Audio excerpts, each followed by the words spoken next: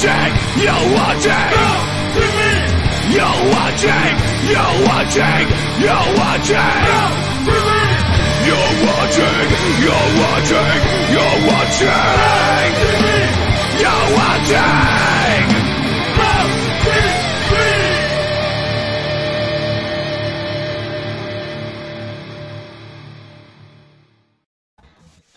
Salut à toutes et à tous.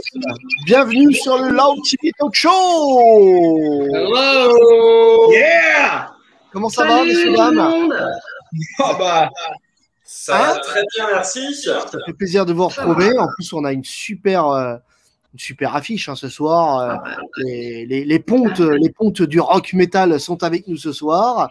On va commencer par euh, Romain. Romain de Head Charger. Salut à tous. Vous avez sorti votre dernier album il y a 15 jours à peu près? Ouais, c'est ça, celui- celui-là. tout, à, tout à fait, le 17 Ah oui, il est là, pardon. Le 17. Eh, T'as vu ça? Et, Ça met un peu de orange, ça va avec le Loud TV, euh, du coup c'est cool. Exact. et on a, on a Kemar, euh, Kemar de No One is Innocent. Hein? Salut à tous. Ben voilà, donc euh, No One is Innocent qui va sortir. Eh, je te jure, on se croit vraiment. Toi, Kemar, qui a, qui a connu certainement l'Académie des Neufs. Ouais, bah, Mais, Ouais. mais, euh, voilà, je pense oui, que. j'en- ouais, On avait dit pas l'âge, pas l'âge. Voilà, voilà. Peut-être que les jeunes qui nous regardent, euh, qui ont euh, moins de 40 ans, ne connaissent pas. Alors, c'est pas grave, vous irez regarder sur Internet. On a aussi Anne, euh, qui est euh, très, très en forme, euh, qui était au Mency Fest, euh, qui nous racontera un petit peu, qui va poser quelques questions aussi à Ed Charger. Et puis, Hello. L'inénarrable Loïc, euh, qui est présent, qui est, qui est très en forme, euh, malgré un temps euh, déplorable à Toulouse euh, tout l'été. Et euh, voilà, Ah ouais, il, grave. il est vraiment. euh, voilà. Donc, envoyez du soleil à Toulouse, s'il vous plaît. Messieurs de Sidi Larsen, s'il vous plaît, faites un peu d'effort. Envoyez du soleil sur Toulouse.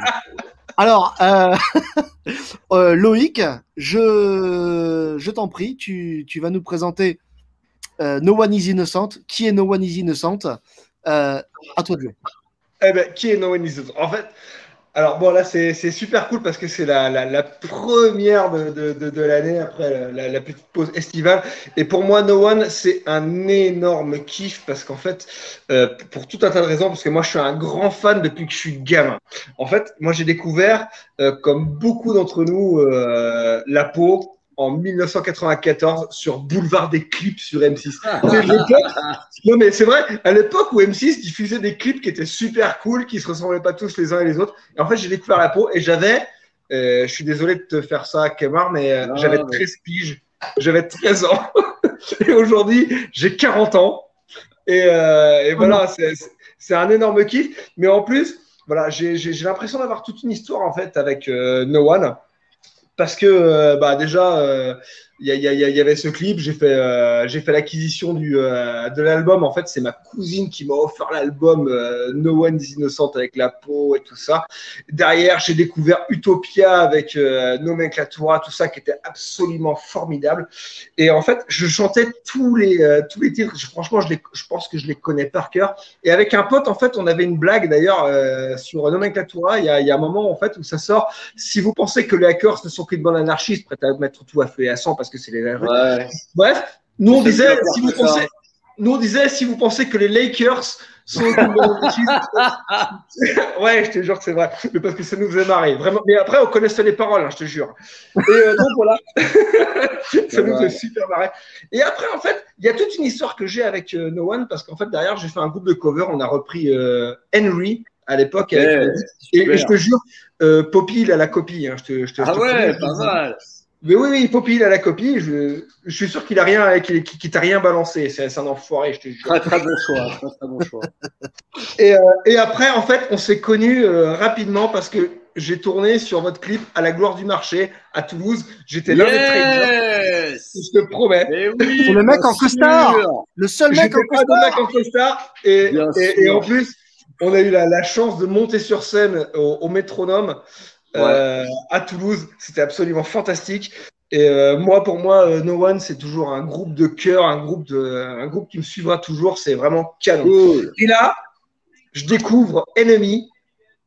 Et là, j'ai pris une grosse balle, je te jure. Pour moi, c'est votre meilleur album. Ah, Euh, cool. depuis, depuis une Utopia. C'est Ah votre ouais. meilleur album.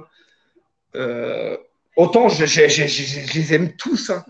Mais là, paf, vous m'avez mis une, une, une, une grande balle.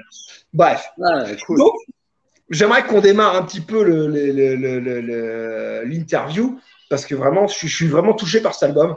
Mhm. Et euh, j'ai trouvé qu'il y avait pas mal de points communs. Ah oui, ça c'est ma, ah, c'est ma gueule. ouais. Je te jure que c'est c'est moi. Putain, il a préparé ça, ce con. c'est vrai, c'est moi. Euh, j'ai trouvé pas mal de points communs, en tout cas sur les sonorités entre Enemy et Utopia, en fait. Euh, sur l'originalité, le côté un petit peu moderne. Euh, J'aimerais savoir si, Utopia était un, un, petit peu un, truc qui vous a qui vous a un peu travaillé quand vous quand, vous avez composé? Non, pas vraiment. Pour être, pour être honnête avec toi, pas vraiment. Euh, Utopia, il a cette particularité qu'il y avait l'utilisation de la guitare sitar, euh, tu vois, Ouais. euh, qui, était un, qui était un instrument complètement atypique et qui sortait de, de, planète, de la planète Mars et, et qui a donné un peu ce son-là un peu à l'album. Et puis, les, les compos, les compos d'Utopia sont vachement plus sombres, peut-être que, que celles de, de Enemy, tu vois. Donc, je pense que c'est plutôt parce que si ça t'a fait penser à ça, que c'est peut-être que le ton s'est un peu encore durci, peut-être. Mais, euh, mis à part ça, non. euh, Enfin, moi, en ce qui me concerne, je, je, je vois pas le, je vois pas la référence. Si tu vois une référence, c'est parce que tu as peut-être l'impression que euh, on a durci le ton et que effectivement Utopia c'était à un moment où on a véritablement durci le ton dans les compos. Voilà et dans, et dans le son. Bah, en fait, c'est un, un- peu euh, ce, qui, ce, qui, ce qui me revient en fait quand tu, euh, quand tu me parles de durcir le ton, c'est qu'en fait, à chaque fois que vous sortez un album, on est, on est sur une époque très marquée en France.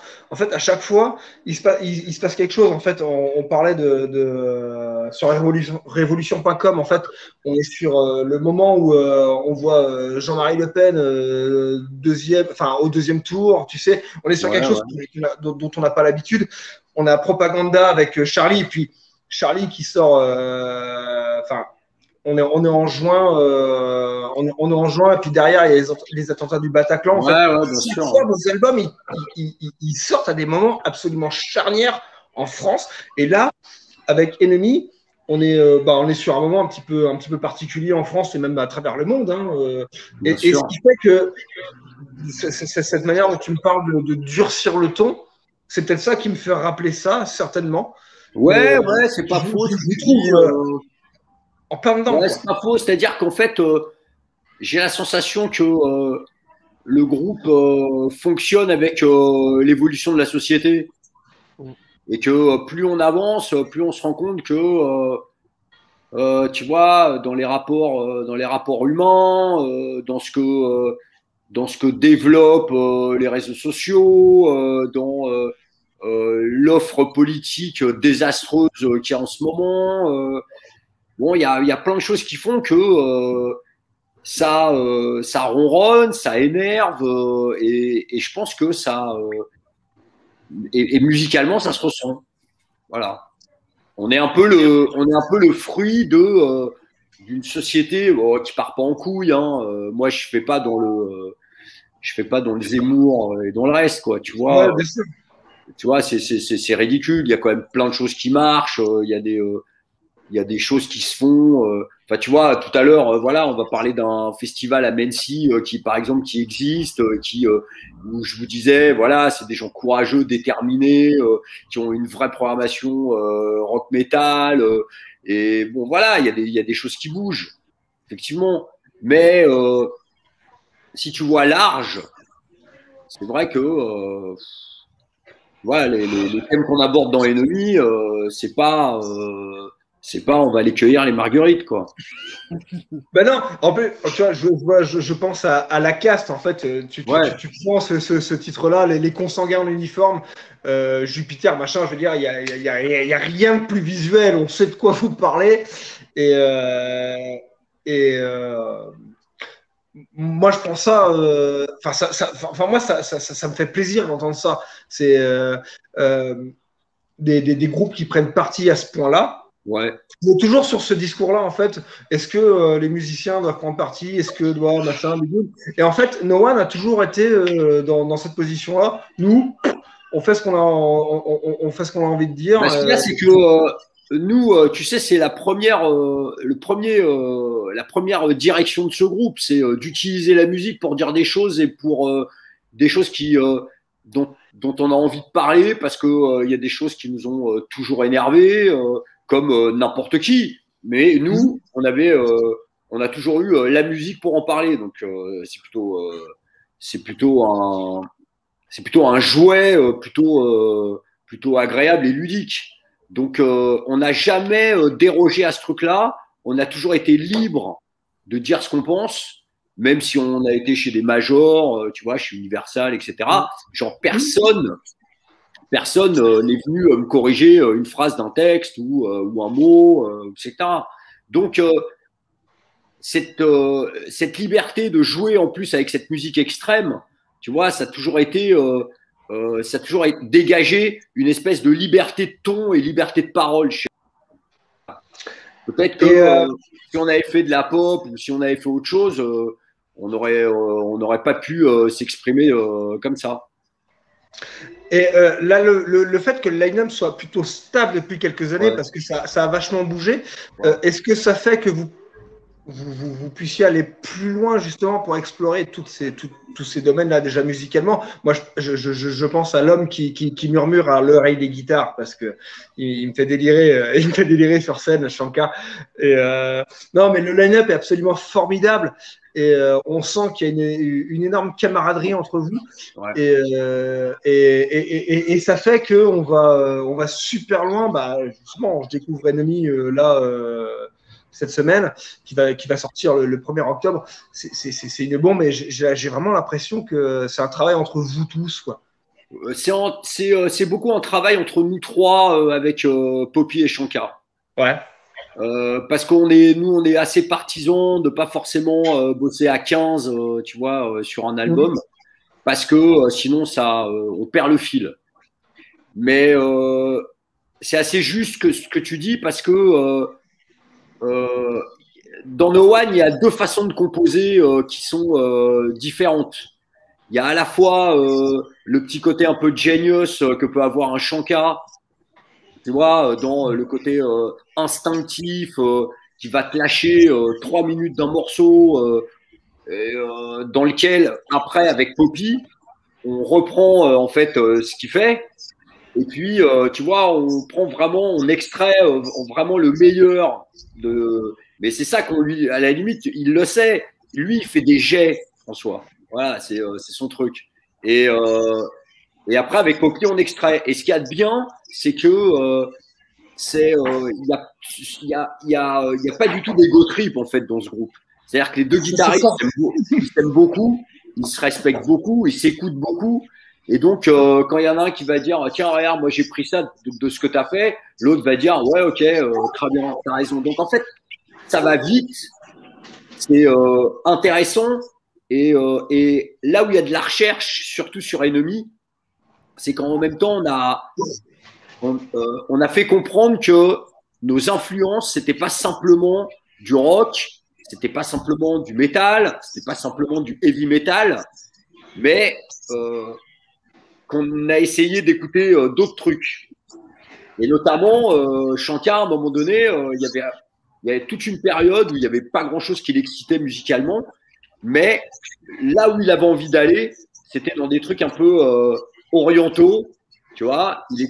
C'est un moment où il écoutait beaucoup de Hilary Wen et d'autres trucs un peu de ce style-là. Et c'est ça qui l'a beaucoup influencé pour sortir des titres comme euh, Force du désordre, tu Mm. vois, euh, Blitzkrieg, Armistice. euh, et c'est ça qui est, c'est ça qui est génial parce que euh, on, euh, n'est pas figé, tu vois, à se dire bon bah nos références c'est ça, on va aller là-dedans et euh, c'est parti. Non, il y a beaucoup de remises en question, il y a beaucoup de doutes, il y a beaucoup d'interrogations et c'est ça qui donne en fait des euh, des super compos. Et, et, et en plus, j'ai envie de te dire que euh, cet album est archi taillé pour le live. En fait, quand, quand, quand, quand je l'écoute, Ouais. je, je le réécoute en boucle, il y a des, il y a des bombes, quoi. Enfin, euh, moi, moi, moi, je vous ai vu quand même plusieurs fois sur scène, et euh, je connais les trucs qui marchent chez vous, la peau, Silencio, euh, euh, quand, quand, quand, quand vous reprenez, quand vous reprenez Rage Against the Machine. Enfin, il y a des trucs qui fonctionnent. Mais là, sur cet album, c'est, en fait, j'ai l'impression qu'il y a, il y, a, il y a tout ça, en fait, d'un coup. C'est comme si c'était un résumé de No One's Innocent depuis, depuis 30 ans, en fait. Ouais, c'est pas faux. Ouais, ouais, ouais, c'est pas faux ce que tu dis. C'est pas faux et c'est c'est une espèce ouais de peut-être de résumé euh, en plus ou moins entre Propaganda et Frankenstein, mais avec euh, tu vois euh, avec quelque chose en plus.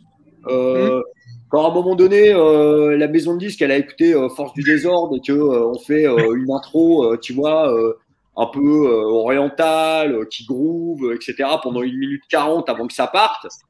Là, on s'est dit, c'est osé, mais c'est ça qu'on c'est ça qu'on veut faire. Voilà. Il faut, toute façon, le propre de l'artiste, nous, euh, ce qu'on pense qu'on compose euh, à trois, ok, on écrit des chansons, mais euh, il faut oser, quoi. Voilà. Ouais. Et si, euh, si on n'arrive pas à se surprendre nous-mêmes, Mm. euh, c'est- pas, c'est pas très intéressant. Et puis, il y a plein de recherches aussi en termes de guitare. tu vois, je sais que Shanka et Poppy, ils ont beaucoup bossé et on les entend. Quand tu mets un casque, tu commences à écouter les morceaux, ouh, ça, tu sens que ça se balade à droite, à gauche. euh, voilà. Il faut que ce soit riche. Il faut essayer. Ouais, on, on- on- on sait que tu as affaire à deux geeks du son aussi. euh, Enfin, Ouais, euh, Poppy, ils adorent travailler ça et ça Ouais. s'entend en fait dans toutes les sonorités. En fait, c'est pour ça que je te parlais d'Utopia parce qu'en fait, par moment, tu as l'impression d'avoir ce côté sample qui, était travaillé par Spag à l'époque. Et en fait, euh, c'est vachement travaillé par en fait les sonorités des guitares euh, qui donnent cette impression-là très, euh, moderne, très, intéressante. Et c'est pour ça qu'en fait, je te parle de ça. J'ai l'impression comme d'avoir un renouveau de No One, là, d'un coup. Ouais, ouais, je vois ce que tu veux dire. Ouais, ouais, c'est vrai que c'est c'est un album qui donne, euh, qui donne un peu un nouvel élan euh, et qui, euh, et qui se repose pas sur les acquis. Ah non, c'est clair. Ouais, ouais. Et qu'est-ce que, t'as- qu'est-ce que ça t'a fait, Kemar, là, de, de refouler euh, notamment euh, les planches euh, du Fest 666 où était Tony, le Mency Qu'est-ce que ça fait de, de enfin euh, revenir euh, de planches, de fouler les planches et de, de voir les yeux dans les yeux euh, les spectateurs devant là? Bah, déjà, on avait, euh, on avait commencé à revenir sur les planches avec le Live Fest euh, Oui. euh, From Home. Oui. Voilà, donc on revient sur les planches, mais sans public. Et finalement, ça nous a, ça nous a, ça nous a beaucoup réveillés parce que et ça nous a pas forcément gêné plus que ça parce qu'on était, on était préparé psychologiquement à jouer sans public.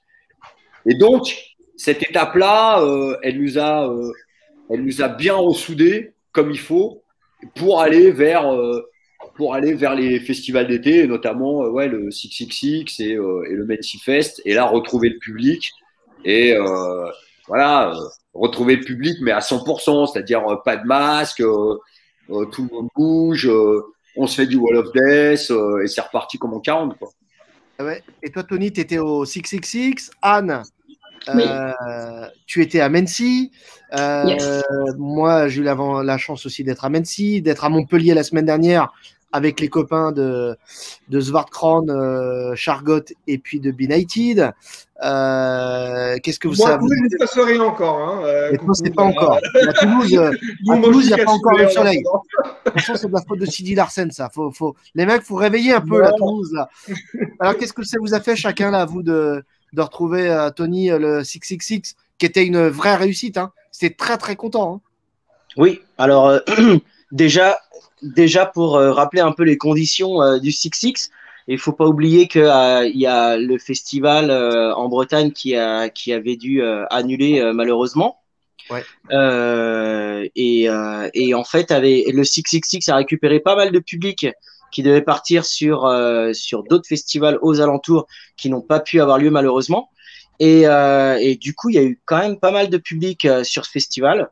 Euh, moi, en tant que, que spectateur, En tout cas, euh, ça a été une vraie bouffée d'oxygène, euh, comme disait tout à l'heure Anne, euh, de pouvoir euh, justement revenir voir les groupes, de replonger dans des fosses avec euh, des gens euh, qui euh, qui te passent leur bière, qui euh, qui comment dire viennent te parler, etc. Si tu veux, euh, l'espace de trois jours, on a oublié ce que voulait dire Ouais. le mot euh, Covid et euh, et mesures sanitaires.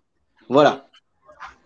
Donc euh, franchement, en tout cas pour moment. euh, pour le public, pour le public qui était là et euh, et pour le ressenti de pouvoir revoir des groupes, de, de refaire des pogos, euh, des Wall of Death. Tu disais ça, euh, Kemar là, il y a quelques secondes encore. Euh, franchement, ça fait ça fait chaud au cœur et euh, et de regarder ça, même si euh, toi tu participes pas euh, euh, activement à, à, à tout ça, parce que moi j'ai j'ai j'ai plus l'âge et puis avec les lunettes c'est pas évident de faire du Wall of Death. Euh, si tu veux, si tu veux, j'étais quand même hyper content euh, de, de retrouver un, un, un festival. Et puis surtout, euh, là, on parle de, de, de festival à taille humaine. C'est-à-dire où il n'y a pas 50 000 personnes qui, qui se croisent et où tu peux facilement aussi retrouver des copains qui sont là avec toi. Donc, rien que pour ça, je dis encore mille merci au 666 qui, Ah, en plus, l'accueil était extraordinaire Ouais. et à tous les groupes qui sont venus, euh, qui sont venus participer à ce festival. C'était euh, incroyable. Anne, euh, le Wall of Frites. Euh, Anne a Oui. fait le Wall of Frites avec son mari au fait. Hein, qu'elle s'est fait. chargée des, des frites. Oui, parce que en fait, je fais le, le festival côté buvette euh, au début et ensuite côté concert quand même parce qu'on a le droit de, de voir quelques concerts. Donc, euh, ben oui, ça faisait plaisir de voir que ce festival a été maintenu euh, cette année alors que l'année dernière il avait été euh, annulé. Et ça fait plaisir aussi de voir que ben, les, les gens étaient présents de voir que euh, bah, effectivement on a essuyé euh, une mini tempête en tout début du, du vendredi et le groupe qui était sur scène donc a dû arrêter. Mais finalement euh, leur gars a décidé qu'ils reprendraient euh, et qu'ils finiraient leur set ce qui a fait un peu de décalage effectivement. Mais enfin bon on était là pour faire la fête, donc euh, peu importe. Et euh, moi, j'ai eu le plaisir de voir, entre autres, alors nous, on était euh, à l'extérieur cette année, donc le festival était à l'extérieur dans le parc de Villeurbanne. La buvette était un petit peu plus loin, donc on entendait les, les, les groupes. J'avais pas la chance de voir tout le monde parce qu'on peut pas et avoir un œil sur la frite et un œil sur le concert parce qu'après ça devient un peu compliqué. Mais j'avais quand même demandé que euh, d'assister au concert de No One Is Innocent. Alors c'est pas parce que tu es là, hein, mais c'est parce que j'avais vraiment envie de le Oh, voir. arrête, travaillais tout ça. Oui, bien sûr, mais il faut pas le dire. Et Phil Campbell, donc pour le, pour le vendredi. Et euh, le, le samedi, alors j'étais présente aussi pour le samedi, qui a été quand même une grosse, grosse, grosse journée, où Ah on s'est 1500 rencontrés d'ailleurs, hein. Chef. 1500 personnes à Mency le samedi. hein. Ouais, je crois que le- là, ça a été la, la, la, la plus grosse journée et euh, ça a été le record. Et euh, c'est encore une fois, il y a eu plein de gens, plein de pogos, plein de. J'ai croisé plein de gens que j'ai pas eu le temps de, de vraiment de voir parce qu'il y avait trop de monde. Et euh, on a été très occupés donc côté buvette et aussi côté concert. Euh, tout le monde en a profité un maximum. On a eu euh, une très très belle journée. Donc euh, c'était voilà, c'était super. Et je te laisse pour le dimanche puisque toi tu étais là le dimanche. hein. Ouais, ouais, le dimanche, avec Dark Tranquility. Enfin Ouais. bref, en tout cas, ça, ça fait vraiment du bien de, de voir tous ces concerts. Et, et on remercie en tout cas tous les organisateurs pour s'être démenés. Et euh, nous enchaînons avec euh, Tony hein, pour les musiciens, euh, pour les, la minute guitare. Alors cette semaine, notre Tony, il va nous sortir notre ce qu'on appelle la rubrique Matos de Bourges, que même ta grand-mère, même si elle casse son PEL, eh ben, elle peut pas te l'acheter, quoique, quoique, quoique. Il nous a fait des surprises, il nous a fait des, des guitares à même pas 1000 euros, le Tony.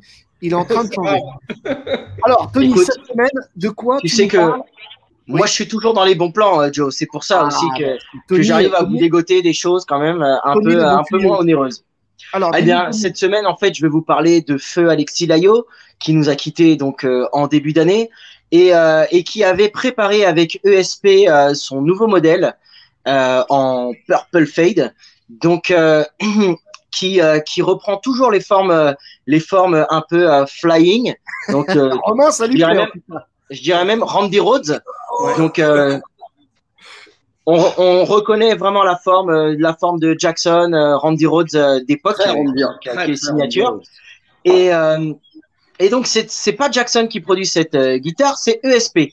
Donc là, pour le coup, ESP a sorti l'artillerie lourde parce que pour ce modèle, c'est un modèle custom shop. Donc, euh, autant dire que ce sont les luthiers de ESP qui fabriquent une à une ces instruments, ces guitares-là d'exception. Donc, ce modèle s'appelle la Alexi Riped, R-I-2-P-E-D. Voilà, donc qui vient du custom shop de ESP. Caractéristique, donc euh, identique. Ah, On l'a perdu. On a perdu la Charente. Ouais, on a perdu la Charente. Alors Tony vient de déménager hein, et il est parti de la charmante Bouga- bourgade de, de Mitry-Mory euh, en Seine-et-Marne. Ah, euh, eh oui, bah, on peut pas tout avoir, on peut pas avoir le confort de vie. Et... Mais en tout cas, euh, je crois qu'on a perdu. Et, Allez, salut euh, ouais, salut. hein. Tu commences à nous, Allez, salut tu commences à, ça nous fait agacer, euh, le Tony. hein. On a perdu, euh, on a perdu le, le Tony. Euh, en tout cas, merci Tony. Si tu reviens, tu nous diras le prix de cette euh, magnifique, euh, C'est magnifique. pour ça que ça a coupé, c'est à cause du prix en fait. c'est ça, c'est à cause du prix. Ah, alors, euh, Ouais, parce que de tant qu'il parlait de, Randy Rhodes, euh, tout allait bien. ouais, ouais, tout allait bien. Bon, ça y est, on a Mais définitivement le prix perdu. a fait slap. Hop. Alors, moi, je voulais, je voulais revenir sur un album qui est sorti. Euh, c'est pareil, vous allez dire, euh, je commence à devenir un vieux con, mais un album qui est sorti euh, de mémoire il y a 30 ans, jour pour jour, et un album qui peut peut-être certainement plaire à nos deux invités. Euh, eh bien, il s'agit de cet album. Est-ce que ça vous parle, messieurs dames? Ouais, à fond. Mais évidemment. Eh ben voilà, l'album euh, Magic, l'album Ouais. des Red Hot Chili Peppers, pour moi qui est pratiquement ouais le, le meilleur album, le meilleur album de, des Red Hot et, euh, et qui est sorti. J'ai vu ça ce matin, donc je me suis dit ça peut plaire en plus à nos deux artistes. Les Red Hot, 30 ans c'est du coup, tu dis 30 eh ans ouais, eh ouais, Ouais, ça ouais. remonte. Hein. Ok, ouais, ouais. J'étais minot aussi. euh, Ça, te rappelle ton âge d'un coup, tu sais. c'est- Ouais, ouais, c'est ça. Ah ouais, ah ouais, ah ouais, j'étais là à ce moment-là. Eh, ah ouais, Ouais. effectivement. Album sorti le 24, 24 septembre 1991. Ah, purée. Ah, is the day, vraiment en plus quoi. C'était il y a donc 30 ans. Et il y a vraiment pas grand chose acheté sur cet album, je trouve. Je trouve euh, vraiment, vraiment top. Et euh, euh, Under the Bridge, bien évidemment, qui est, qui est génial, mais euh, c'est c'est vraiment. C'est Blood vraiment. Sugar. euh, Ouais, Blood Sugar. Sugar. euh, envie de dire, Under the Bridge, qui a été quand même, quand même le morceau fétiche de tous Ouais. les petits kékés qui jouaient un petit peu de guitare, qui se foutaient sur la plage et qui chopaient toutes les gonzesses pendant que toi, tu jouais juste de la percu et qu'en fait, Ah, t'es jaloux, toi. dans. T'es jaloux, Voilà, toi. c'est ce que tu vas dire, parce que du coup, moi, c'est grâce à cet album-là que j'ai voulu avoir une Music Man comme flic. Et euh, bah, c'est avec ça que j'ai commencé à jouer des lignes de basse euh, un peu sexy, quoi, on va dire. Parce que Deep. Purple, euh, Smoke euh, Underwater, évidemment, c'est sympa, mais euh, ça, c'était l'album qui m'a vraiment. euh, ouais. Et puis, il y avait aussi marrant, sur- y avait aussi rock, Vo- rock voisine aussi, euh, bien sûr, sur la plage. Ça, c'est important Oui. pour serrer, pour serrer euh, les gonzesses. Non, ce qu'il y a, euh, ce qu'il y a d'important à dire sur euh, Blood Sugar, Ouais. c'est que c'est encore un album où les Red Hot déconnent. Mais- Quand même. Ouais, Ouais, ouais. Parce que après, euh, ça déconne un peu moins et ça devient un peu plus pop. euh, Un peu trop sérieux. voilà. Et c'est vraiment le dernier album euh, où ça, où ça déconne. Et les Red Hot, euh, c'est un groupe qui, pour moi, qui a toujours été bon quand il a déconné. Voilà, quand, il a, quand ça pète les plombs, euh, quand c'est, euh, quand c'est, euh, quand c'était cette espèce de, de, de puissance, euh, genre euh, euh, funk, euh, même euh, heavy metal euh, par Ah, moment. Mother, Mother Milk, par exemple, qui est un album énorme. ouais, genre Ouais. c'est un album énorme pour ça. ouais. Voilà. Euh, Fleet Mofo Party Plan, qui est aussi pas mal funky, mais euh, je suis d'accord avec toi, hein, que Mars, euh, du coup, c'est. euh, Mais eh, ça après, marche. celui-là, c'est un peu la bascule, quoi. C'est un peu. euh, voilà, ça- Mais voilà, il faut, euh, il faut dire que euh, c'est vrai que de bout en bout, euh, cet album, musicalement, il est terrible. euh, ça groove, ça groove terrible. Euh, et, euh, et moi, j'ai eu la chance de les voir à l'Élysée Montmartre euh, Ah ouais. à ce moment-là. Cool. Top. Et, euh, bon, euh, Moi, j'ai- Ouais, je les ai vus au Zénith de Paris. salle comme ça, ça devait être ju- juste génial, quoi, c'est sûr. Ouais, moi, je les ai vus au Zénith de Paris. Au Zénith de Paris, après, où il y avait Flick qui était à poil et qui jouait de la basse à poil et qui, à la fin du concert, fait une galipette sur scène.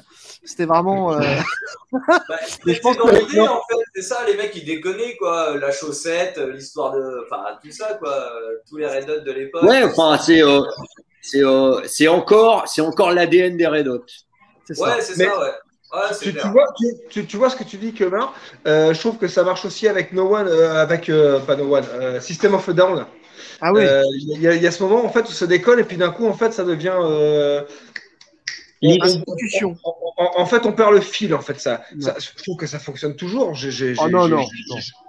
Non, c'est mais- moins naturel, moi je dirais, c'est moins. Ouais, voilà, Ils moins sont là naturel. que pour le pognon. Ils sont là que pour le pognon. Non, mais je m'en fous. horrible. Je, je- non, mais je m'en fous de ce que tu penses, Joe. Non, non, non. Moi, je les ai vus à l'Élysée Montmartre, System of a Down. Je les ai vus à l'Élysée Montmartre. C'était un truc de fou. Je les ai revus là au download il y a trois ans. Les mecs, ils sont sur leur tapis. Ils sont là pour faire du pognon. C'est, c'est clair. C'est clair. Et Tony, Ouais, en de pognon, Ouais, combien te- ta guitare? Moi, alors le pognon, bah. je sais pas, mais euh, moi je te rejoins, je te rejoins un peu dans le sens où euh, je les ai vus à Bercy et j'ai trouvé ça, euh, je sais Calculé. pas, euh, scéniquement parlant, d'une pauvreté mais absolue quoi. Ah ouais. Il y a que le Vraiment, batteur, J'y étais aussi. il y a que le batteur et le bassiste qui jouent Ah, à peu sais près le peut-être mais- que chacun l'a vécu euh, d'une façon différente, mais euh, avec tout le barouf qu'il y avait euh, derrière, euh, derrière ce groupe, moi j'étais hyper curieux, hyper enthousiaste de le voir. Et j'ai vu, euh, j'ai vu euh, quatre mecs euh, plantés euh, avec Alors, alors, alors qu'il y a un truc euh, super rock'n'roll au départ. communiquaient est pas, très euh, c'était très froid, euh, il n'y Ouais. avait pas de, il y avait pas de chaud. euh, et c'est quand même, euh, c'est surprenant quoi. euh. Je me souviens de cette date à Bercy, c'était euh, c'était il y a plus de 10 ans, ça facile Ouais, 15 ans. ouais, c'est ça, ouais, ouais. Et ils enchaînaient les morceaux et il n'y avait pas de communication. Ouais, les morceaux étaient enchaînés à la suite Ouais. comme ça. Alors que, eh, je peux vous assurer, vous allez voir No One is Innocent. Vous avez les quatre marsupilami là, enfin à part Gaël parce qu'il est, il est, il est assis sur sa batterie. Donc Ah ouais. Mais vous avez donc les, les, les autres marsupilami. c'est- Enfin, euh, je- je- je- je- j'invite n'importe quel photographe à prendre. euh, à, à shooter un live de No One, c'est impossible d'avoir une photo où il n'y a pas quelqu'un qui jump, qui est, euh, qui, est, qui est- qui est les jambes écartées. Qui est- c'est Ouais, mais impossible. non, mais tu vois, c'est, euh, c'est, euh, tu, ce qui est très étrange, c'est que, euh, voilà, ce concert de System of a Down, ils ont quand même une musique euh, qui, euh, qui appelle euh, physiquement quelque chose aussi.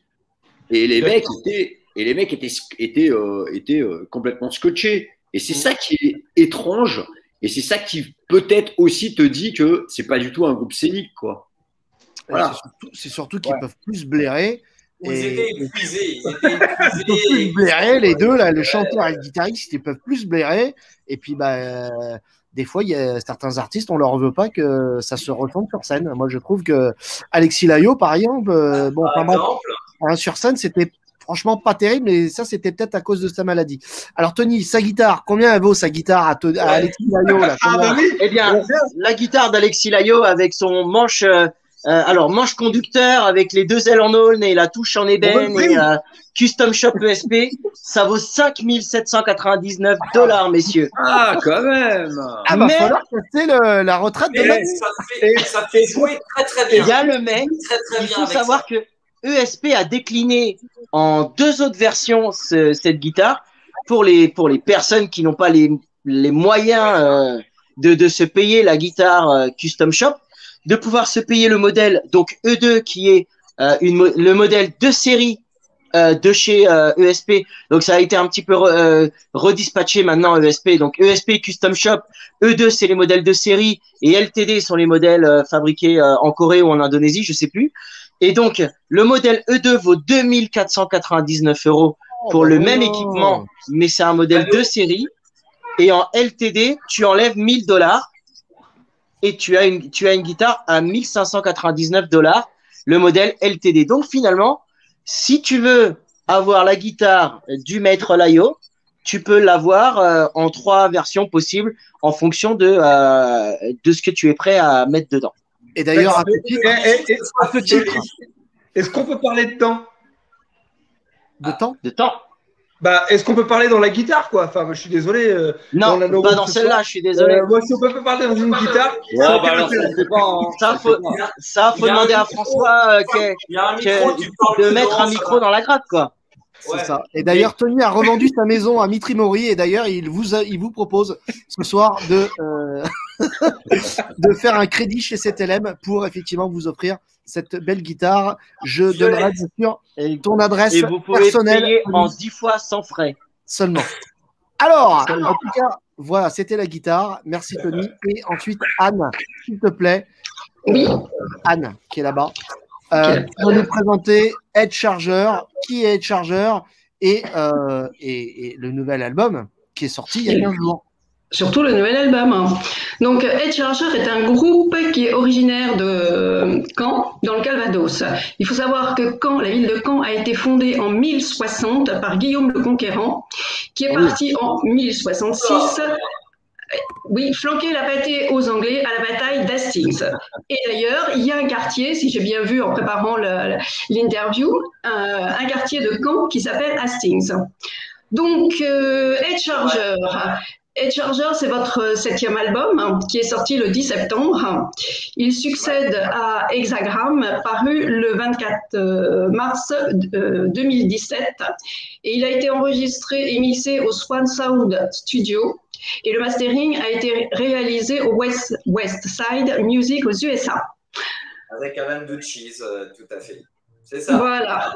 T'as bien travaillé ta fiche, Anne. Hein, Merci. T'as vu, hein Ah non, mais j'ai bossé. Ah non, mais j'ai bossé, là. Je suis sur le. Je suis, je suis dessus depuis longtemps. Voilà. Donc, quatre ans, on disait, donc quatre ans entre Hexagram et Rise from euh, the Ashes. Une pandémie et un changement de line-up plus tard. Est-ce que tu peux nous présenter les deux petits nouveaux? Alors, David Vallée n'est pas vraiment un petit nouveau puisqu'il a fait de l'intérim en 2017, mais votre batteur a changé. Eh ben exactement. Ouais. Du coup, bah voilà, c'est vrai que c'était, euh, ça a été un peu ex- extrême cette situation parce que voilà, il y a eu euh, deux changements de groupe, enfin de personnel euh, juste avant bah, le début de la pandémie et donc voilà, on a pour la pour la guitare, on a pris bah, David, qu'on connaît, qui a déjà fait de l'intérim avec nous, comme tu disais, en 2017 et parce que c'est un super guitariste, il jouait dans un groupe de rock et qu'on avait joué beaucoup de fois, donc il est pas, euh, voilà, pour nous c'était pas inconnu, c'est un pote depuis une quinzaine d'années, on bosse beaucoup avec l'affectif et euh, donc on lui a demandé euh, s'il pouvait prendre, bah, remplacer Anthony à la guitare et, du coup bah voilà, il a accepté, donc c'était cool. Donc il jouait dans un groupe déjà qui avait beaucoup tourné avant, c'était Noid. Donc euh, bon, ils ont pareil une bonne vingtaine d'années d'expérience aussi, euh, d'avoir tourné partout en France, un peu à l'étranger et tout ça. Donc c'était pour nous c'était aussi une valeur sûre de prendre quelqu'un qui euh, bah, voilà qui a de l'expérience, puis voilà un mec qui joue et en plus il a apporté aussi vachement parce que c'était un guitariste chanteur donc c'était cool. Nous pour nous c'était génial d'avoir besoin d'avoir ses chœurs. On a toujours eu ce côté cœur euh, qu'on avait envie de travailler plus. Donc euh, c'était génial pour nous de prendre, de David. Et Antoine, alors c'est un, un petit jeune par rapport à nous, on va dire. Bon, de pas grand chose, mais quand même peu- plus petit jeune. Mais qu'on connaissait euh, pas du tout. On connaissait juste son grand frère avec qui on avait joué à l'époque, il y a 25 ans. Avec euh, son groupe et tout ça, et c'est un copain à nous qui nous a proposé. Donc ça s'est fait un peu, de toute façon, nous, on travaille beaucoup à l'humain, donc euh, s'il n'y a pas une histoire euh, d'affect ou quelque chose comme ça, on a... C'est compliqué pour nous. On a besoin aussi que ce soit proche, qu'on puisse pouvoir se voir souvent et tout ça. Enfin, c'est comme une famille. On le prend le groupe comme une famille. Donc, euh, donc Antoine, voilà, on le connaissait pas personnellement, mais on s'était évidemment certainement déjà croisé sans voilà, sans faire attention. Quand une petite ville, mais malgré tout, il y a beaucoup de musicos. Donc, euh, donc voilà, donc Antoine à la batterie est arrivé, qui a un cursus un peu différent quand même, malgré tout, et c'est aussi ça qui nous a vachement plu. C'est, euh, bah, il a écouté beaucoup de métal euh, plutôt étant jeune. Après, il est vite passé dans des choses un peu plus pop, rock. euh, il fait aussi beaucoup de jazz à côté. Mais c'est ça qu'on a vachement aimé en fait euh, dans ce dans le personnage et aussi dans le côté musicien, c'est que du coup, bah, il était euh, un petit peu à part et on savait que ça allait apporter quelque chose plus que quelque chose qu'il allait vraiment amener une nouveauté en termes de batterie. Donc ça, pour le coup, c'est c'est vraiment deux, deux personnes qui, vont nous qui nous ont apporté énormément. Ça, c'est sûr. Oui, bah justement, on va parler de, de, de, cet album. Donc pour moi, cet album était un petit peu plus hard rock que, que stoner par rapport aux, aux, albums précédents. Il y a beaucoup de choses qui, qui, ont changé. Donc on disait effectivement le line-up. Et euh, cet album a été écrit euh, à, à quatre mains avec euh, Sébastien et euh, David. Et d'ailleurs, je trouve que le, les, les, mélodies, la, les, les, voix sont beaucoup plus travaillées euh, qu'avant. Est-ce que c'était aussi quelque chose que vous vouliez faire depuis un petit moment?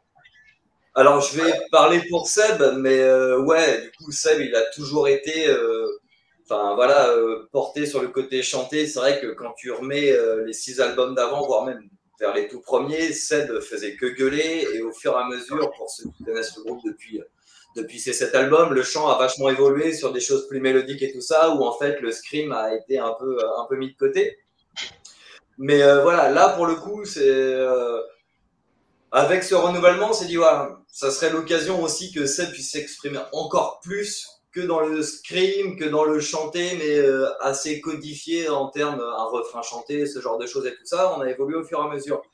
Et là, euh, voilà, Seb, c'était euh, c'était le moment où en fait il a aussi hyper progressé. Enfin, il a il s'est donné tous les moyens qu'il a, voilà, qui lui, qui lui permettaient de, de faire ce genre de choses. Après, quand tu dis qu'on a travaillé à quatre, en fait, on a travaillé aussi beau, vraiment sur cet album-là à 5 parce que les deux nouveaux, en fait, euh, malgré, enfin, mine de rien, ils ont amené mais, euh, énormément au renouveau du groupe. Et euh, c'est vrai que cet album, pour nous, il a vachement changé.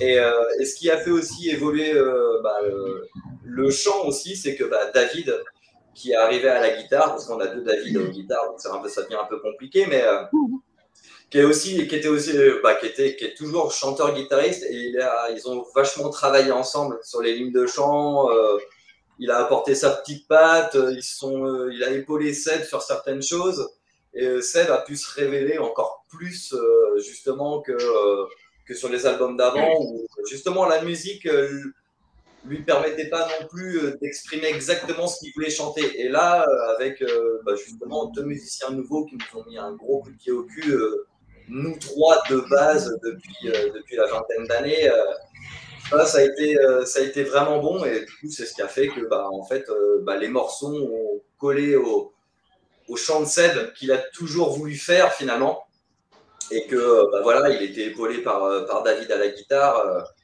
et non, du coup, ils ont vraiment pu travailler. Ça, je pense que ça fait partie des grosses évolutions de tous ces albums que, que ce septième là, il, il, a pu chanter exactement ce ce qu'il ressentait et les morceaux qui pouvaient euh, lui permettre de faire tout ça. D'ailleurs, on lui fait une petite, une petite bise euh, parce que moi je le connais depuis euh, super longtemps. et, il est certainement en train de regarder et puis faire mais qu'est-ce qu'il raconte là?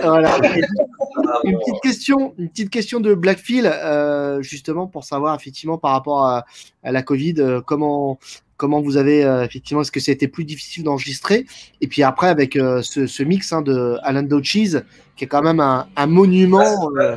le mixage a été fait par, par, notre Bob Rock euh, à nous, euh, Guillaume euh, Dousseau, en fait, de Swanson, parce que ça fait, bah, sur les sept albums, il en a fait six, hein, du coup, on, on, lui fait une confiance entière à chaque fois. Donc, ouais, alors, pour le coup, le, le Covid, pour nous, a vraiment été plutôt.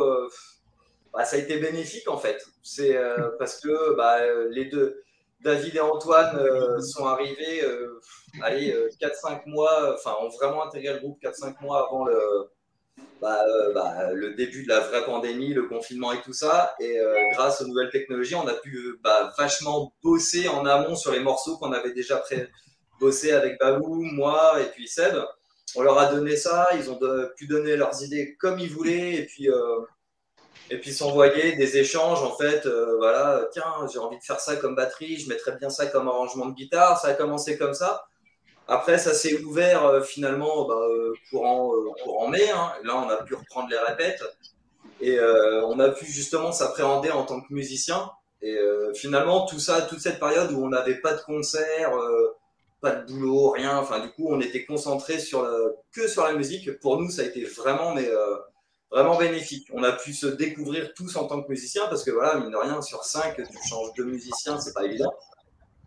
Et, euh, et, voilà, sur toute cette période jusqu'à bah, de, de, mai 2020 à, euh, à, septembre 2020, le début de l'enregistrement de l'album, euh, bah, en fait, on n'a pas arrêté de répéter tout le temps, bosser, composer tout ça, sans des trucs. Et, euh, et pour nous, ça a été bénéfique. Finalement, cette, ce moment un peu de, flottement où il se passait rien, bah, nous, ça a été le, bah, ouais, vraiment, je sais pas, comme une bénédiction de pouvoir bosser là-dessus et puis de, bah, s'apprendre et puis de créer les morceaux, prendre le temps de faire ce qu'on voulait sur les morceaux. Euh, voilà, euh, ça a été vraiment plutôt, plutôt cool. Après, euh, en studio, évidemment, on est tous ensemble, on est, tu joues avec le masque, c'est un peu différent, mais en même temps, non, non, c'est, pour nous, ça a été vraiment un truc où on a pu vraiment faire que de la musique à 100%, chose qu'on ne pouvait pas faire globalement en temps normal. Quoi. C'était le cas pour plein de groupes, hein. c'était le cas pour plein de groupes. Bah, je pense, ouais. Qui nous ont dit, voilà, on a, on a tout réenregistré, on a réenregistré les parties de voix, enfin prendre, prendre, du, prendre du, du recul et, ouais. comme disait Kémar, pour voir les, les, bons côtés de la chose. Quoi.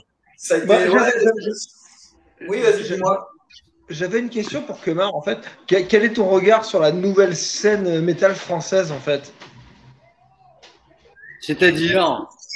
Bah, euh, on, on, bah, on connaît Nogol, on connaît Tagada, on connaît Mas, on connaît, euh, tu vois, euh, tout ce que je veux dire. Quel est, quel est ton regard sur les, les, les, les, les nouveaux groupes qui sont en train d'arriver euh, wow. récemment les, les, bah, tu vois, je, je, je vais dire, je pensais à Akiavel, je pensais à, à je, sais, je sais pas, en fait, je, je, je pense à juste, juste les nouveaux groupes qui sont en train d'arriver. Euh, tu as dû rencontrer aussi euh, au 666, je pense à je pense à 7, je pense à tu vois tous ces groupes. Quel est ton regard par rapport à cette nouveauté en fait? Moi, euh, mon regard, il est euh, que j'aimerais euh, les entendre chanter en français en fait. D'accord. Voilà. Ça, ça, change, hein. Ça change, hein, parce que moi, il y a 30 ans, le français, euh, j'avais beaucoup, beaucoup, beaucoup de mal. Hein. Et aujourd'hui, c'est vrai que c'est quand même devenu euh, un peu plus, euh, et ça fonctionne, hein, la preuve. Hein, je crois que 7 chantent en français. Hein. 7 chante en français. Ouais, ouais, ouais, ouais, qui crie en français, alors c'est peut-être un peu plus compliqué de. Ouais, mais je trouve que il faut. Enfin, tu vois, c'est ce qu'on ce qu'on se dit souvent, des fois, entre nous avec ouais. les tagada ou avec les masques, on se croise, c'est que, euh, je veux dire, euh, euh, si tu veux, si tu veux faire de l'anglais et et avec, avec, une espèce de prétention, de fantasme que tu vas aller jouer en Angleterre, aux États-Unis, genre les mecs là-bas, genre ils en ont rien à foutre quoi. Tu chantes en anglais en fait. Enfin, je veux dire, faut être, faut euh, l'exemple le plus typique, euh, je trouve, euh, du groupe qui a cartonné internationalement et qui a explosé tout le monde, c'est Rammstein, quoi. Tu vois, en chantant en allemand. Voilà. Ouais. Alors, évidemment, tout le monde ne peut pas être Rammstein, ça c'est clair. Mais en fait, ce qui les intéresse plus à l'étranger, c'est quand tu chantes en français, mmh. parce qu'il y a un côté exotique que eux, tu vois, ça les, ça les surprend. C'est ça, ça sonne pas pareil. Donc, euh, du coup, ils sont vachement plus attentifs à ce que tu fais. Et puis surtout, euh, chez nous, moi, je trouve que euh, moi, quand je découvre un groupe, j'ai envie de découvrir un groupe aussi par son univers, par rapport à ce qu'il chante. Il y a un chanteur. Voilà. Et, et moi, je me revois encore, tu vois, ado. rentrer dans l'univers des albums, essayer de comprendre ce que les mecs racontent, etc. Et c'était, voilà, c'est, il n'y a rien de plus direct, il n'y a rien de plus identifiable qu'un groupe qui va, euh, je trouve, quoi, euh, qui va essayer de chanter en français. Ouais. Voilà. Alors, je sais que c'est pas évident. Voilà. Et, euh, mais je trouve que le challenge euh, envoie la chandelle. Voilà. C'est vachement intéressant ce que tu racontes. Parce que, parce que musicalement, musicalement, euh, il y, a, y a des super groupes, quoi. Voilà. Musicalement, il y a des super groupes une petite question par rapport au Zénith euh, parisien, puisque vous faites euh, le gros 4. Euh, alors, ça a été. C'était. ça a divisé la toile, hein, le gros 4. Oh oui, mais pour qu'ils se prennent, machin, genre référence Big Four, machin. je trouve que les gens ont de moins en moins d'humour. Humour, ah ouais, je suis. Ah, non, non, moi, je, moi, je l'ai pris non, au second mais... degré, c'est genre. Je veux savoir qui fait Dave Mustaine. C'est ouais, je pense qu'il faut pas généraliser, c'est-à-dire, euh, sûr. t'as, euh, je sais pas, des milliers de personnes qui réagissent et t'as euh, 100 connards qui ont pas d'humour. Voilà, bon. Tu. C'est Bah oui. toujours pareil, les réseaux sociaux. Hein. Ouais, c'est ça. C'est souvent pareil. Donc, euh, on focalise sur, euh, sur les mecs qui ont pas d'humour, alors qu'il y en a des milliers d'autres qui en ont. D'ailleurs- d'a- D'ailleurs, tu Moi, vois, je préfère, et moi, et moi, et moi, je reste. euh, enfin, moi, je regarde pas euh, forcément tout ce qui se dit. On me rapporte un peu euh, ce qui se dit, mais euh, mais je pense que c'est euh, encore euh, voilà une minorité de mecs qui ont pas d'humour. Mais euh, C'est- une question que j'avais pour toi en fait, parce que je sais que tu n'es pas du tout sur les réseaux sociaux, parce que c'était- tu t'éloignes de tout ça et que tu te protèges de tout ça. euh, Et, euh, du- du- du- du- C'est c'est bon. Et euh, euh, je, trouve que c'est euh, plutôt noble de, de, de, de- de s'écarter de tout ça et de faire ce que tu as envie de faire, ce que vous avez envie de faire, sans se préoccuper de ce qui se dit, parce que c'est un peu la foire à la saucisse, les réseaux sociaux, on est d'accord, hein, c'est euh, à grande échelle. ouais, euh, c'est-à-dire que euh, faut pas, faut être honnête. Hein, nous, euh, évidemment, qu'on utilise Facebook euh, pour parler à nos fans, Oui. etc. Mais euh, on a très vite euh, arrêté euh, d'utiliser Facebook comme une tribune pour communiquer et, lancer des débats et lancer des polémiques, etc. Ça, on a on arrêté depuis très longtemps. Impec. On va, on va passer euh, parce que le, euh, oui, je suis désolé Anne, mais euh, le, le temps avance. On avait euh, 20 milliards de questions à poser à notre chargeur, mais on est très en retard. Mais on n'a qu'une heure. euh, voilà, on a, on a dit à, à nos artistes qu'on avait qu'une heure. Donc du coup, on réinvitera bien évidemment Ed Chargeur avec plaisir pour se faire une- peut-être une, une complète sur une demi-heure avec, avec plaisir. En tout cas, on On voulait. se fera ça. On se fera ça. Avec plaisir. Avec plaisir. En tout cas, euh, on, on enchaîne avec les sorties de la semaine. Alors du coup, vous savez quand on est devenu feignant sur la Out TV, sur le talk show, on passe en 15 jours. On fait une émission tous les 15 jours maintenant euh, parce que Tony euh, bah, nous prend tellement d'argent qu'on ne peut plus euh, assumer. Et, et du coup, euh, alors euh, pour moi, un album euh, essentiel avec un line-up et c'est vraiment merci Loïc parce que l'album je l'adore, je trouve. Il ne connaissait pas Désolé, euh, moi je, je, je, je vais voir des concerts et toi tu restes au bureau. Voilà. Alors, l'album Hilt, Hilt euh, avec un. Alors c'est un, un one-man band qui est de Norvège ou de Suède? Norvège. Norvège. Hilt. Et euh, voilà, on, on a, on a deux, trois petits musiciens euh, sur l'album avec Dirk de Megadeth. On a Bjorn de Soilwork. On a le guitariste de Nile. Et euh, moi, je le trouve, euh, voilà, si vous êtes dans le kiff euh, black death metal, c'est euh, vraiment un album sur lequel il faut vraiment euh, jeter une oreille. Bombe, at- bombe atomique, c'est-à-dire c'est paf, une explosion. Et, Voilà. Et la chronique, Six titres en 5 minutes chacun, 5-6 minutes chacun, et ça. ça marche très bien. ça c'est- explose. Vous Ça explose. lire notre chronique sur euh, le site Loud TV. Ensuite, euh, on revient aussi encore avec Loïc avec un album qui est sorti aujourd'hui et que tu as kiffé. Il s'agit de We butter the bread with butter. C'est-à-dire que nous beurrons le pain avec du beurre. Euh, groupe allemand euh, absolument fantastique. Et c'est du metalcore. Je, je n'aime absolument pas le metalcore. C'est vraiment pour être honnête. hein. Je, je- je déteste ce style-là. Mais pourtant, eux, ils savent le faire comme il faut. Ils savent. euh, ils ont su m'haranguer, ils ont su me draguer, ils ont su me tenir par là où il fallait. Et, euh, et avec des titres absolument démentiels, avec euh, mon doigt, mon doigt est trop petit, euh, je, je, je, je, je, suis un vendeur dans la papeterie, euh, je mange dans une assiette de kebab. Voilà le nom des titres en allemand. Et c'est du metalcore qui surfe un petit peu sur les sons modernes. On va penser un petit peu à Eskimo Callboy, tout ça, qui vont se faire un petit peu sur le, le, le, le- la synthwave. Mais eux ne sont pas sur la synthwave, justement. Ça, Ouais. ça, va, ça va flirter un petit peu avec, mais ça va chercher un peu plus loin. C'est vraiment d'enfer. Je vous invite à écouter We Butter the Bread with Butter. Et pour moi, c'est l'un des meilleurs albums de l'année pour l'instant. et l'album s'appelle Das Album. Das Album, l'album. Das en allemand, Das Album. Bon. Alors, c'est sorti aujourd'hui aussi Tony a bien aimé et moi j'ai écouté tout à l'heure aussi. Je trouve, euh, je trouve vraiment bien, vraiment, vraiment bien. Je suis en train de regarder et de trouver euh, la pochette qui est là. Euh, L'album de Tremonti, Marching in Time. Tremonti, c'est qui, Tony? Rappelle-nous. Euh, Mark Tremonti, c'est le guitariste d'Alter Bridge et ben voilà. et ancien guitariste de Creed. Et ben voilà, super, super album Ouais. qui est sorti. Enfin, c'est un, c'est- peut-être pas un album. euh, Enfin, c'est Si, si, c'est un album. sorti chez Napalm. d'ailleurs, d'ailleurs, c'est c'est assez étonnant parce que euh, euh, Mark Tremonti chante très peu sur les albums d'Alter Bridge. Il Ouais. est surtout, il est surtout guitariste. Et là, sur sur ses albums solo, c'est vraiment excellent. Ouais, il chante, il a une voix de dingue. Je préfère Ensuite- presque. On enchaîne, on enchaîne avec un, un artiste que j'ai interviewé hier sur Paris, incroyable. Euh, alors c'est du jazz rock, ça sort chez euh, In, euh, Inside Out, un label prog metal, euh, Mandoki Soulmate. Euh, le mec c'est un Hongrois. Ça pourra peut-être plaire à Kemar parce qu'il a fait 17 fois de la prison en Hongrie à l'époque. 17 fois. Non, non, mais et il a combattu. On, on, on, on croit que ça peut le plaire. Ah oui, d'accord, il s'est euh, il s'est révolté contre. euh, Il a contre combattu le régime hongrois. Et il a dû euh, émigrer en Allemagne.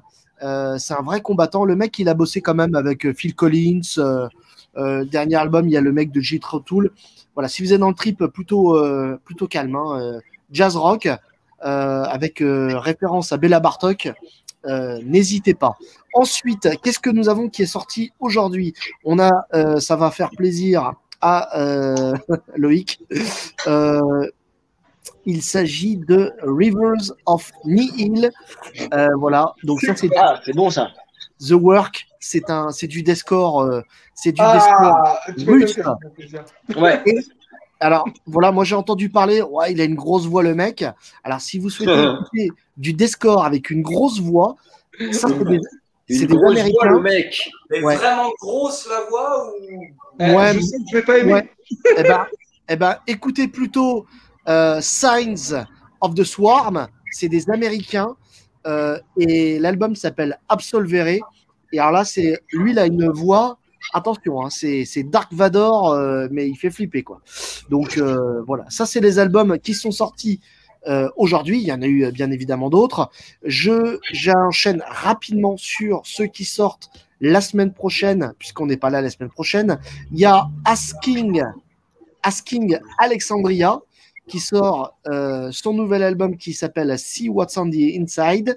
Ensuite, on a un EP de, de Enslaved euh, qui s'intitule Caravans to the Other Outer Worlds. Et ensuite, on a Doro, euh, la copine de l'ex-copine de Lémi, euh, qui lui faisait de gros bisous, qui sort un live qui s'appelle Triumph and Agony, un live, euh, voilà. Et ensuite, on a notre ami, euh, notre ami, euh, notre ami, le, le de Ministry, Ministry, euh, voilà, puisque voilà, hein, il a Ali Jorgensen a eu quand même pas mal de mal. Moi, la dernière fois que je l'ai vu, il a fait que ce titre, il était très très fatigué au Bataclan. Et euh, Ministry, 30 ans qu'il a du mal hein, un peu. hein. Voilà, bon, on est d'accord. Et euh, Ministry euh, qui sort aussi un nouvel album chez euh, Nuclear Blast. On finit, on finit par, parce qu'il y a quand même Derrick sur euh, France 3 qui va arriver. On finit par les quiz. Les Oh, quiz. capitaine Marlowe, capitaine Marlowe. Oui. Ah, tu vois que tu, tu, tu regardes beaucoup plus la télé que moi. Alors, Non. on finit par quoi Loïc? Eh ben, nous avons deux quiz pour euh, amuser euh, nos, nos- nos invités. Donc, on a un quiz pour euh, Kemar et nous avons un quiz pour Ed Charger, évidemment. Alors, on va démarrer par le quiz pour Kemar. On Let's a un go. petit quiz. C'est les groupes français engagés, mais attention, c'est de la merde, mon quiz. Donc, première question. Comment s'appelle le premier album de Tagada Jones? Virus, l'envers du décor ou plus de bruit? Plus de bruit, je crois. Plus de bruit, excellente réponse. Ouais. C'est en 1998 que c'est sorti. Qu'est devenu François Desberru après l'arrêt du groupe? Il est devenu journaliste sportif, ingénieur de recherche au CNRS ou DRH chez Total? Ingénieur au CRS, au CNRS. Eh oui, Eh, ça, c'est pas mal hein, comme quiz, franchement. euh, putain. Il, il est, il est- il est spécialiste de la péninsule indo-chinoise. Ouais, indo-chinoise, ouais, exactement. Il est, il absolument incroyable là-dedans, Fanfan. c'est- J'ai, euh, on s'était euh, on s'était croisé au Québec au moment où il était vraiment euh, enfin où il commençait et euh, on avait parlé de ça et c'était euh, hyper intéressant quoi. D'ailleurs, sa, fa- sa femme est vietnamienne, hein, il me semble. ou, euh, ouais, Ouais. c'est ça. Et euh, il est totalement immergé dans ce. Dans, dans, dans, dans, dans, dans- Ouais, dans- et puis c'est euh, c'est- et puis c'est devenu un cador. Ah, bien sûr, ouais. Absolument. Troisième question. D'où vient le nom de Sidi Larsen? De l'ingénieur du son à l'époque qui s'appelait Sidi et qui faisait beaucoup de Larsen. De la, ville de, la, ville de Sidi Larsen en Algérie. Ou alors d'une vidéo où l'on voit Lars Ulrich boire une bouteille de Sidi Brahim. Euh, je sais pas euh, euh, euh, l'ingénieur du son. Non, Non, la ville, la ville alors. Ouais. Ça vient de la ville de Sidi Larsen en Algérie, en fait, qui est la, la, la, la ville d'où est originaire le papin de Benjamin, Ah. qui est guitariste de, de, de, bah, de fait. Ouais, ouais, ok, d'accord. Voilà. Balèze, Pas mal les questions. Ah oui. Ah, Ah, non, bah, mais attends. les mecs, oh. Eh, je cherche. Ensuite, pour quelle occasion Mass Hysteria a sorti son live à l'Olympia en 2013 Pour fêter les 20 ans du groupe? Pour fêter l'anniversaire de Mousse? Ou pour fêter l'acquisition d'un nouveau tourbus? Ah, les 20 ans, les 20 ans. Les 20 ans, évidemment. Et enfin, Et enfin, Renaud de Lofofora est un grand fan d'un comédien disparu. euh, ah récemment. oui, ah oui. Mais qui est-ce? Yves Régnier, Claude Brasseur ou Jean-Pierre Mariel? Marielle. Ah oui. Ah, mais oui Ah, il fait. Eh, tu sais que je l'ai croisé à Montpellier la semaine dernière au festival. J'aurais trop dû lui demander de me refaire du Marielle. Il le fait trop bien. À chaque, à chaque fois que je vois Renaud, je lui demande de me faire du Mariel. Ah, ah, mon petit, hein, hein. Ah, mon petit chat Il n'y a que lui qui sait le faire. Eh ben, c'est écoute, c'est pas mal un Kemar euh, de No One euh, qui fait un 4 sur 5. 4 sur C'est 5. C'est vraiment bien. Alors, on a Romain, Romain de Charger. Euh, ça fout la pression, là, du coup. Grave. euh, attention aux Non, questions, parce qu'en fait, ça craint. je, je vais, je vais sur ton terrain, en fait. On va aller sur les fromages normands. Ah. Ah ouais. Ah oui, Ouais, sur le TV, on aime tellement la bouffe. c'est ça. On parle Ah, de On a la chance d'être en province pour plein de choses, ouais, c'est voilà. Euh, justement. Alors, première question. Quel est le diamètre d'un camembert? 8 cm, 11 cm ou 14 cm 11, C'est 11 C'est ça. évidemment. Enfin, toi, Parfait. Quel est le nom d'origine du pont l'évêque? Angelot, Ange déchu ou Archange? Ah la vache, ça c'est Vislar, ça. Euh, oui Archange, Non, c'est Angelot. Et Pont-l'Évêque, qu'est-ce que c'est beau comme ville. Un petit, Et, restaurant, et un ça petit s'appelle restaurant. l'évêque depuis le 18e siècle. un petit restaurant au pied de l'église, là, à Pont-l'Évêque. Faut le tester. Hein. Tiens, tu le connais, pas- Romain. C'est pas, dégueulasse, t'as raison. Il est vraiment bon. c'est pas mal, ouais, ouais. Ah oui. Je connais le Allez, troisième question. là. Bon. Quel est le plus vieux fromage de Normandie? Le Livaro, le Bria-Savarin ou le Neuchâtel? Alors, le Châtel, non. Ouais, le Livaro, Eh Et non. non, c'est le Neuchâtel. sans deck. Ça date de Tu 1805. es pas là, toi Tu l'as éliminé dès le départ. Et pourtant, il est, pourri ton, il est pourri ton quiz, là. Non, Eh, je, eh, je me renseigne, je te jure, j'ai fait des études pour Ah, non, ça. mais un- je te promets, j'ai un doctorat en quiz. Ah, Euh, c'est. Moi, je les mange, les fromages. Vas-y, vas-y, enchaîne. Mais moi je aussi, pense je les mange. le après, quoi. Vas-y, vas-y. mais il a, une, il, il a une forme de cœur quand même. Il est mignon, le Neuchâtel. C'est allez, vrai, quatrième question. Allez, De quel type de lait est issu le petit rond de Manon C'est du lait de vache, du lait de chèvre, vient pas du de ça, c'est pas possible. Si, Du lait ah, de si, Jeff Ellefson. Et Ah, d'ailleurs. On embrasse Merde. toutes les Manon parce que le petit rond de Manon, euh, c'est quand même. euh, voilà. Ah, ça, c'est moche. Bon, ok, vas-y, vas-y, vas-y. Alors, du coup, Manon, Bon, vache, ou brebis Bah, vache. Non Ah. Chèvre Mais tu mon ballon, c'est c'est pas possible.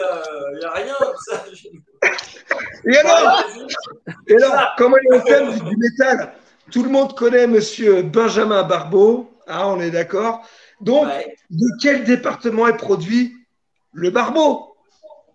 C'est un fromage de lait de vache à pâte molle à croûte fleurie, hein, si tu veux des détails. Oui, oh, Donc, il vient d'où? De la Manche, de la Seine-Maritime ou de l'Orne? J'en ai jamais entendu parler, quoi. Ah, Euh, ben. Pourtant, tous les gens qui vont mal faire ont entendu parler de monsieur Barbeau. hein. Ah ouais. bah, ils ont- Mais ouais, tant mieux pour eux, tant mieux pour eux. Ils viennent chez nous aussi, c'est bien, c'est pas mal. Sauf qu'il y a trop de fromage. Euh, je Allez, ou L'Orne. Orne L'Orne. Ouais, bravo C'est l'Orne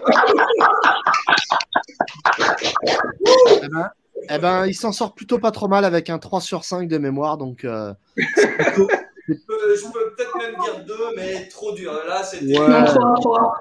3, je crois. hein. Tout à fait. Trois. Ah, bon, bah, écoute, euh, Je crois, parfait. je crois. En tout cas, bah, il est l'heure de, de nous quitter. En tout cas, merci infiniment, Head Charger. On rappelle que votre dernier album est sorti.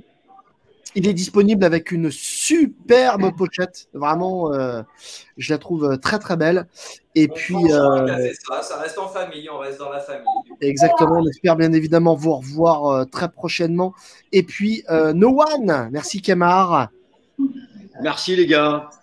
Eh ben, en tout cas, on se revoit. euh, on se Merci revoit- Loïc. Merci à vous tous. On se revoit très prochainement. Et puis, bah, passez une bonne soirée, passez un bon week-end. Et puis, euh, à dans 15 jours pour le Loud TV Talk Show direct avec, euh, bien évidemment, de nouveaux invités. Je vous souhaite un bon week-end et je vous dis à très bientôt. Bye bye. Bye bye. Merci.